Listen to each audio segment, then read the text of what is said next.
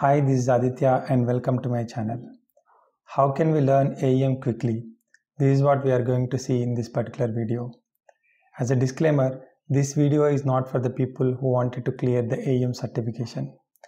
Clearing the AEM certification is completely academic in nature and it requires a completely different strategy, which I am not aware of because I myself haven't cleared the AEM certification. But if you want to learn AEM to get a job or want to excel in the current job which you are doing, then this is the right video for you. Let's get started with the presentation. According to me, these are the four paths which you could take in order to get into an AEM job. First one is the most simplest way, which is being an AEM author. And second two, I would say, are more of the developer oriented roles.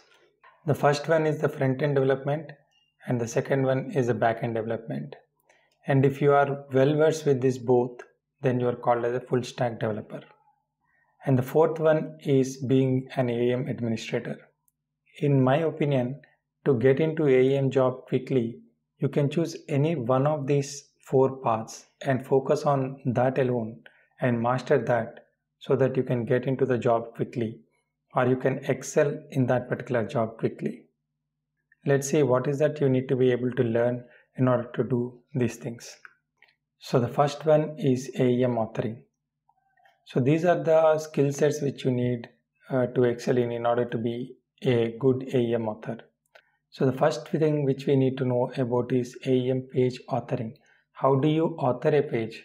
What do you mean by page authoring? Like in as I told in my previous uh, videos, AEM allows us to drag and drop certain components like button components uh, or uh, cards component. So we can drag and drop these components and create the layout, any layout which we want dynamically. We can just drag and drop and resize those components or we can just uh, change the styles on that components, colors on that, on that component. Any non-technical user will be able to do that.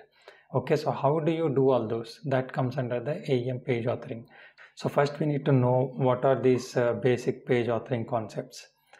So the next thing which we should know about is the dynamic templates. Okay, so the page which we are creating here to author anything, right? We create a page. Now this page is dependent upon a template. And what does the template tell is what all components are allowed on that particular page. We can define that in the template. So if we say only 10 components are allowed in this page, then you will not be able to add any other components like 11th component onto that page. So all those restrictions can be laid down in the dynamic templates.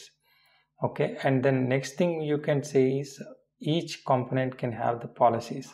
So what do we mean by policies? So in the each policy we can define the styles. Like for example, if there is a button component, then how many variations of the button component can be there? Maybe button can be uh, there in the blue color red color orange color. So the, these different styles what all different styles can be there on each component that can be defined on the component policy. Okay so these template related things also a author should know. So the next thing which we should know about is the multi-site management. Okay so if it is a multinational organization then how do you create the sites for each geographic location and each language those concepts come under the multi-site management. So we'll have to learn that. And then we should be able to author also the content fragments and experience fragments. How do we create it and how do we use it in the page? So and what are the out of the box components uh, which are given in the AEM and what is their purpose? So these are the basic things which we should know as part of AEM authoring. So then whatever given below is the extra concepts if known will give you a good boost in whatever job you are doing. Okay the so the first thing is the domain knowledge. Like for example if you are working in a financial organization if you know the terms of the financial organization and if you know the if you have a particular domain knowledge like what exactly that business is uh, and what exactly they are trying to achieve if you have that business knowledge or domain knowledge then it will be more fetching for you and if you also have the content writing skills if you are able to create the blog posts or create any uh, content or if you have any marketing skills then it would really add because the combination of AEM author authoring and the content writing and marketing skills are very rare So if you have these both, then it will be a good fetch and booster for your career. And if you know a simple understanding on analytics, like for example, if you can open Adobe Analytics and understand a page performance report, then that, that will really give you a good boost in your job. So this is all about AEM authoring. And next comes the development paths. So if you want to be a AEM developer, either a front-end developer or a back-end developer, then these are the three concepts which you must know. Any developer must know these three concepts. So one thing is AEM architecture. What are all the architectural concepts involved? Like what are all the technology involved? What is the tech stack that you must know? And how each of these different tech stacks are interacting with each other. So that is uh, that is one thing which you must know. And the second is sling resolution. Like for example if you give a particular path in the url then how is that path getting resolved to the page how is that path getting resolved to the component or how does the AEM know which code to execute when a particular path is given in the URL. So that's sling resolution concepts you should know. And the third thing is you have to have the basic understanding of AEM authoring. So every developer must be an author. Okay, so you should be able to test whatever you have developed. So you should know basic authoring concepts. So these are the three basic things which any developer must know. Then coming to the front end development now, what is the skill set which is required? These are the basic skill sets which you must have if you want to become a AEM front end developer. So the first thing is HTML, CSS, JavaScript and jQuery. So these things you must know. So if you want to learn more about this, I have created already the videos on all these concepts. So you can refer the link in the description below to explore more about these things okay then the second thing which you must know is templating language okay this is just like a JSP or PHP wherein you can mix the HTML and also some of the HTML related concepts to be able to do certain looping or to be able to interact with the backend servlets and get the data. So this AEM HTML is a templating language which you must know. And the third thing is you must know either LESS framework or Sass framework. These are the CSS frameworks so mostly in AEM, the pure CSS is not used. Either we use the LESS framework or Sass framework. So it is good to know actually these frameworks and how they work. And the fourth thing is, where do we place these CSS and JavaScript files in AEM? And how are they getting compiled? And how are they getting concatenated? And how and where does all these CSS and JS files for a particular site reside? And how is all this working is something which we must know. So then these are the concepts which will give a real booster to the job which you are already doing.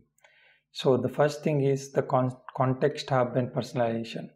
If you are able to get the context of details, like what is the current location of the user and what is the demographic and other age or any personal information and based on that, how do we personalize the experiences?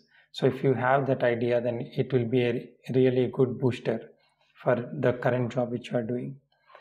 And the second thing is Angular or React experience, including the state management. So if you have already worked on any of the Angular or React frameworks, and if you know how the single page application works, if you know the layered architecture, and if you are well aware as to how to create the modules and how does each module interact, uh, and if you have developed any of the real-time application in Angular, be it also the personal application that will be really really a good booster. And you must also know how will AEM and SPA work together. So this is also one of the things which you must know. And if you know these things then it will be a really really good booster to the current job which you are doing as a front-end developer and really high paid salary jobs you will get. Now let's move on to backend development so this AEM backend development, I would say this is the AEM core development, wherein you must know what is the AEM project structure, and you must know what is the Maven and what are the Maven dependencies. Then you should also know how to create the custom components, how to use Sling servlets, OSGI services, and workflow administration. And if you want to create any content model for the authors to create the content fragments, how do you create those content models? So these are the things basic things which you must know. These are the regular things which you will be using in the projects. So if you know these things then you, you will be able to easily settle down in the project and be able to work. Okay so this is the aem core uh, developer knowledge i would say uh, which any aem backend developer must have. Apart from this as an aem developer if you also have the knowledge on how the java microservices works and if you are able to create the microservices either in adobe io or even in aws or any other cloud environment that will be a really good booster for whatever job you are doing already. Okay so then the last thing is aem administrator. So if you want to settle down as an aem administrator then these are the concepts which you must know. First is how do you install install upgrade and configure the aem servers? Then how do you backup and restore how do you integrate aem with other adobe applications like uh, adobe analytics campaign and dif different other applications? And if there is any performance issue in aem how do you debug it and what are the issues and what are the things you will see? And how do you manage the tags in aem and how do you manage the security and identity management? Like if there has to be any single sign on how do you configure it? So these are the different things which you must know as an aem administrator so hope this video has helped you. If you are liking the videos which i'm doing please like and subscribe to my channel. Thank you